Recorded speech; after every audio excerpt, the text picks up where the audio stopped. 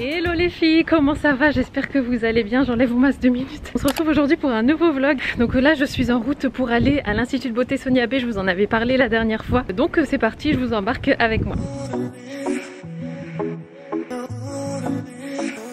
Les filles, je suis prête, je suis installée pour l'épilation des sourcils. Donc aujourd'hui, je vais faire avec Sonia qui est juste là. Coucou Je vais faire la restructuration des sourcils et ensuite je vais faire manucure, pédicure. Enfin manucure, c'est juste pose de vernis semi-permanent. Et pédicure par contre c'est la totale. Du coup là donc j'étais en train de dire à Sonia que je voulais comme d'habitude, d'ailleurs vous avez été nombreuses à me dire que vous avez beaucoup aimé et juste demander à Sonia de me raccourcir un petit peu ici comme ça ça fait le regard euh, enfin moins tombant. Et voilà mais en tout cas je suis trop trop contente de la retrouver. Et puis ben, on va commencer euh, le travail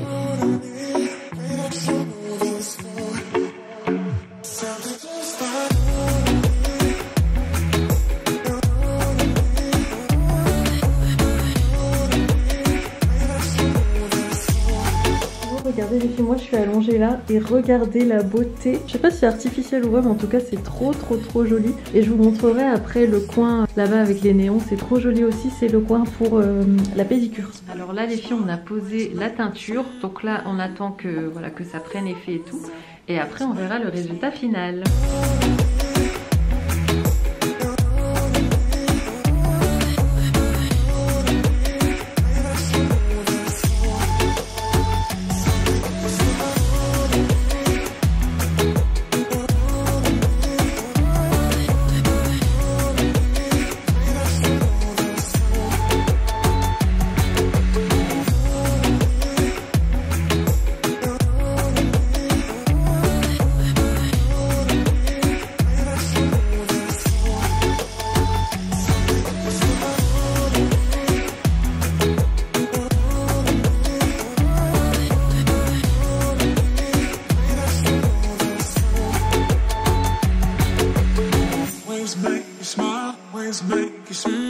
Voilà sortie de chez Sonia, franchement c'était un moment juste euh, trop agréable, enfin au-delà de, me faire faire les ongles et tout ça, j'ai juste adoré euh, bah, me faire chouchouter en fait et euh, discuter avec Sonia, discuter avec Maïssa aussi.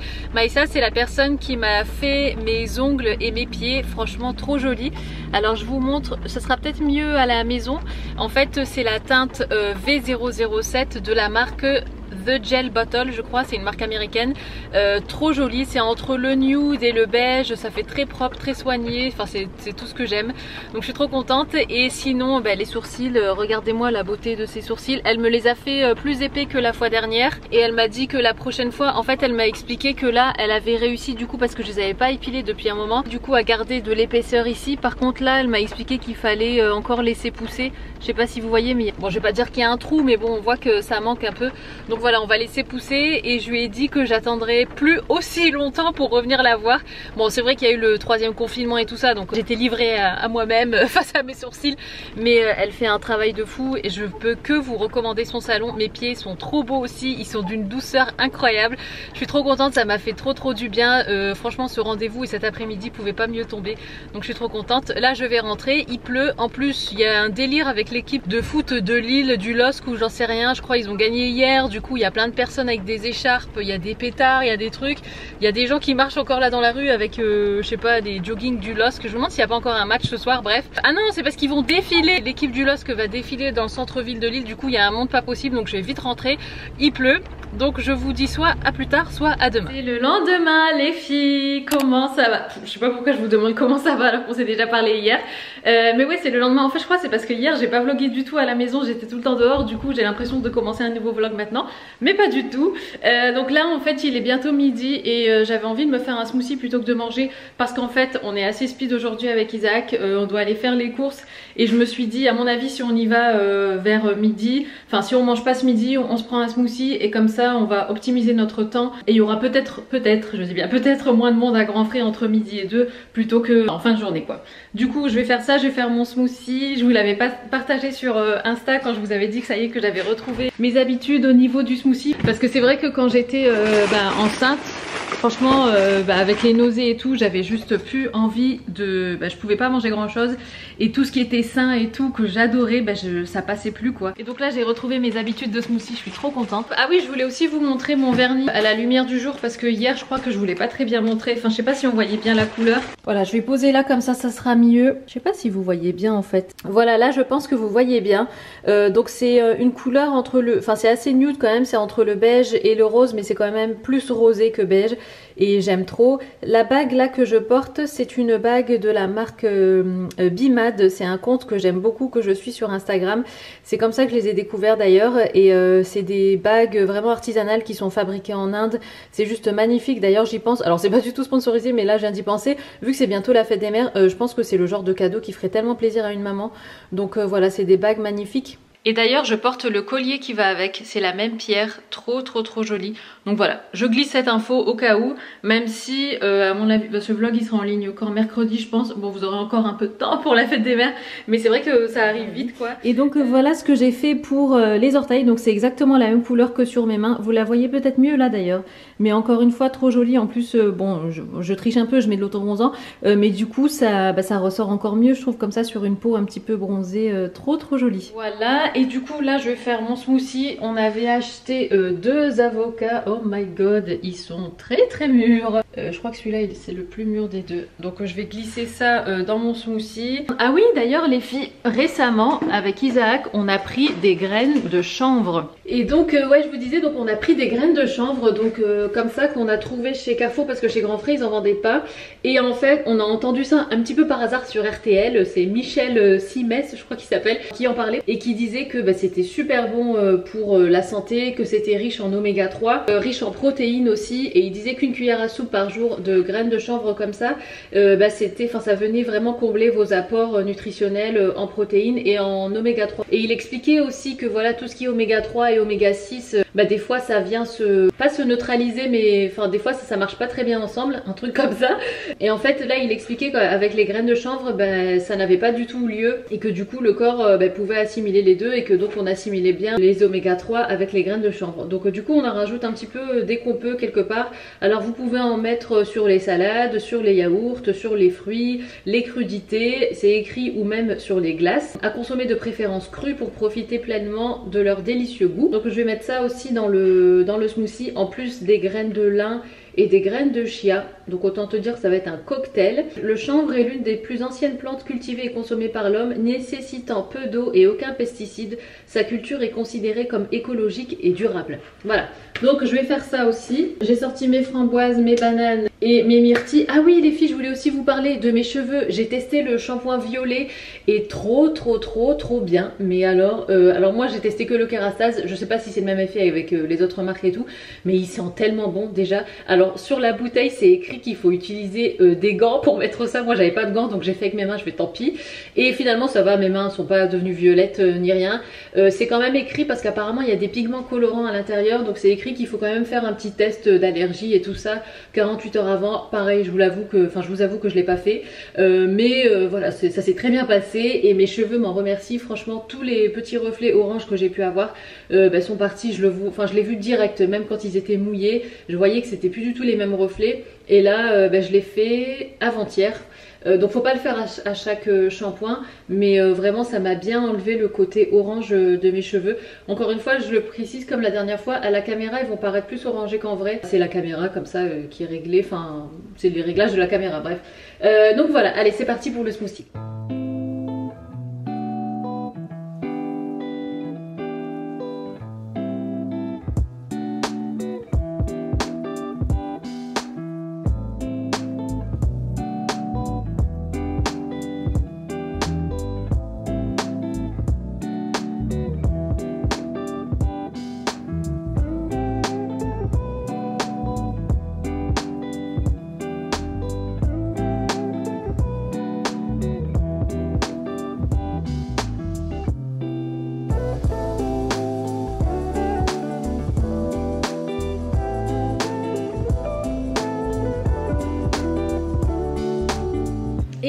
Mon smoothie est prêt. Franchement, il est trop trop bon. Et depuis que j'ai ces verres à pied, de toute façon, vous savez à quel point j'aime trop les verres à pied et j'en voulais. Pourtant, on boit pas d'alcool et tout, comme je vous l'avais déjà dit. Mais c'est vrai que j'aime bien. Pour moi, c'est un plaisir, c'est un kiff de boire n'importe quoi dans un verre à pied. Donc là, je vais boire ça. Euh, j'ai des mails à traiter aussi et tout ça. J'attends qu'Isaac revienne parce qu'il avait un rendez-vous. Et ensuite, on va aller faire, euh, on va aller faire les courses. Je dois renvoyer d'ailleurs mon colis euh, Chloé qui est juste là. J'avais oublié à quel point l'avocat rendait le smoothie onctueux. Du coup, le truc, c'est limite une glace, c'est limite un sorbet plutôt qu'un truc liquide. Mais franchement, c'est trop bon. De toute façon, après, ça fond un peu, donc ça devient un peu liquide. Ah oui, et les filles, dans mon smoothie, je sais pas si vous avez vu un moment, mais j'ai rajouté du yaourt de coco avec de l'eau, mais c'est parce qu'en fait, j'avais plus assez de lait végétal. Soit quand j'ai pas de lait végétal ou quand j'en ai pas assez comme maintenant. Ce que je fais, c'est que je mets un produit laitier végétal et je rajoute de l'eau pour se diluer. Et je me dis que ça fait un peu comme du lait, quoi. Bon, allez, je vous laisse, j'ai du taf, je vous retrouve après.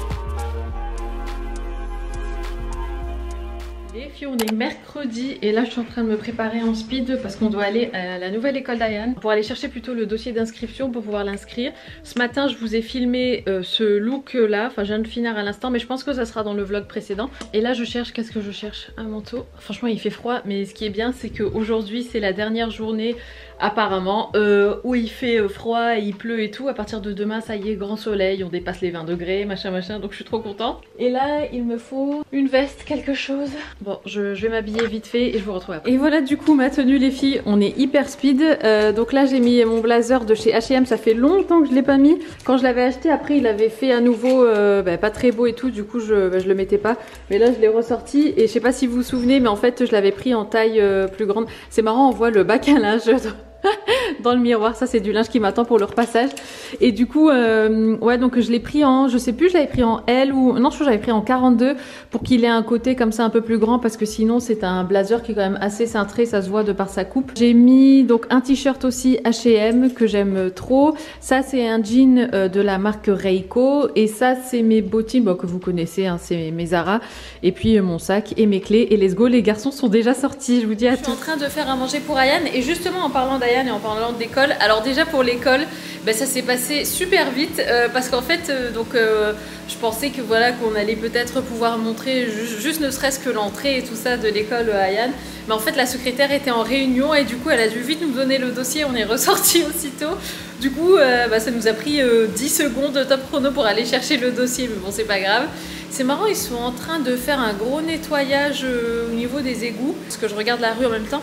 Je sais pas si vous vous souvenez, mais en fait, je vous avais dit qu'on avait des soucis d'odeur, d'évacuation et tout ça, et surtout au niveau de la douche. Mais en fait, on les avait aussi à un moment au niveau de, de la cuisine et tout ça.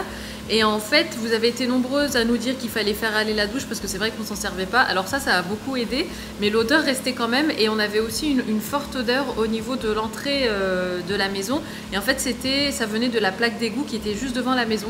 Du coup, on a appelé la mairie, ils ont fait appel à une entreprise qui est venue tout euh, purger, tout ça, enfin tout nettoyer sans les égouts. Et après, il y a nos voisins qui ont eu un souci aussi, donc eux, ils ont carrément fait appel à une entreprise extérieure. Mais là, il y a encore quelqu'un qui est en train de, je sais pas, de faire. Euh, ils interviennent aussi au niveau des égouts. Donc je pense qu'à mon avis, enfin, tout le monde devait, un petit, devait être un petit peu embêté. En tout cas, nous, on n'a plus du tout d'odeur et tout ça, donc euh, on est bien content d'ailleurs. Bref, en fait, je voulais vous parler de révision et tout ça.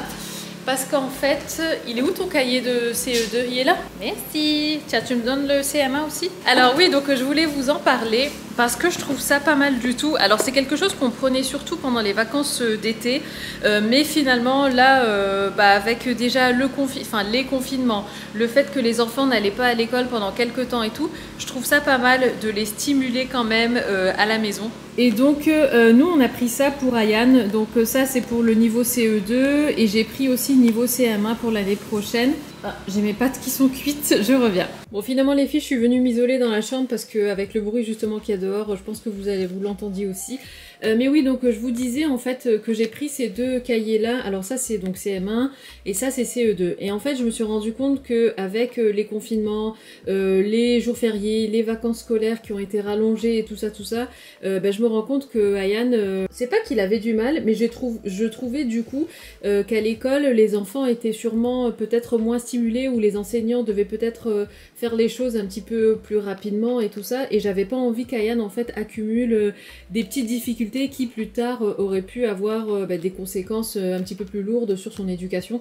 Surtout que l'année prochaine il change d'école, c'est une école privée, en plus c'est CE, CM1 et donc en fait je voulais vraiment être sûre que les bases, enfin que tout le programme CE2 était acquis pour que en CM1 ils partent vraiment sur de bonnes bases et que tout soit acquis et qu'ils puissent continuer le programme de CM1 sans difficulté. Du coup j'ai pris ça et je suis bien contente parce qu'en fait alors on n'en fait pas tous les jours mais on en fait les jours où il n'a pas école, donc le mercredi et le week-end, on fait euh, une page euh, de français ou bien de maths, parce que je trouve que c'est les matières les plus importantes, plus une page euh, soit d'histoire, soit de sciences, soit d'anglais. Et ça marche super bien parce que du coup, lui, bah, ça, lui permet d'être toujours stimulé, on va dire, cérébralement parlant.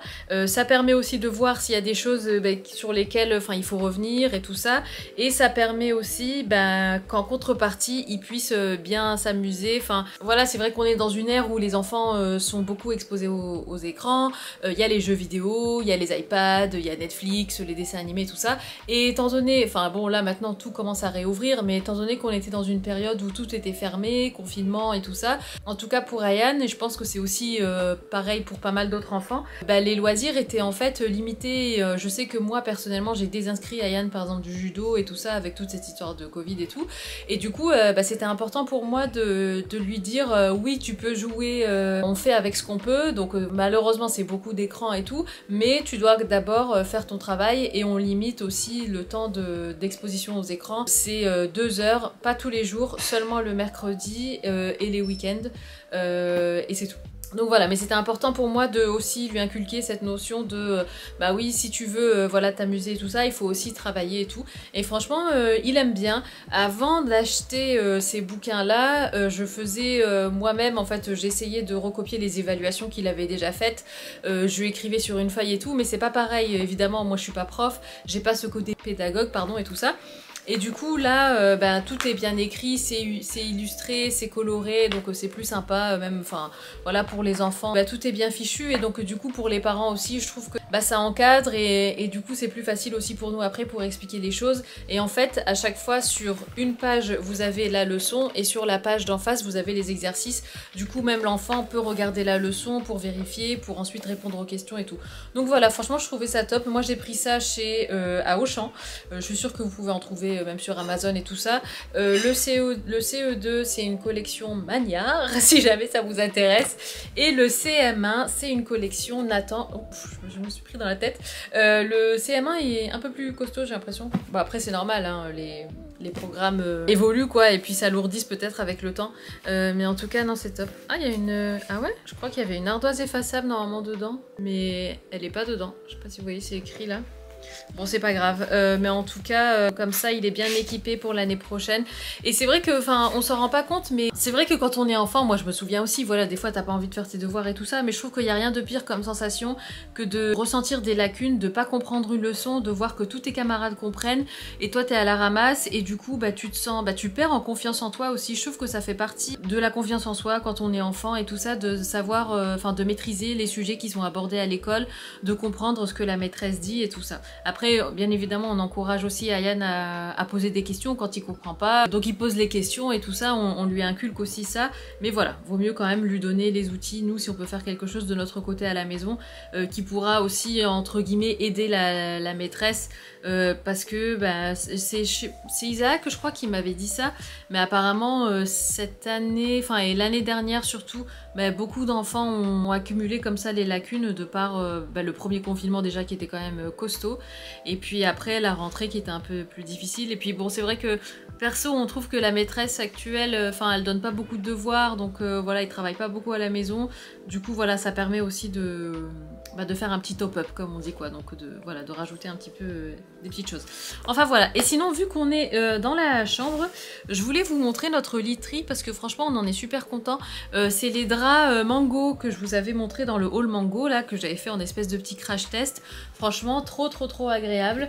Et je me dis qu'il faudrait que je m'en rachète. J'aimerais bien quand même m'acheter des draps en lin lavé. Parce que ça, j'en ai pas, mais j'en vois beaucoup passer et ça, déjà c'est très joli.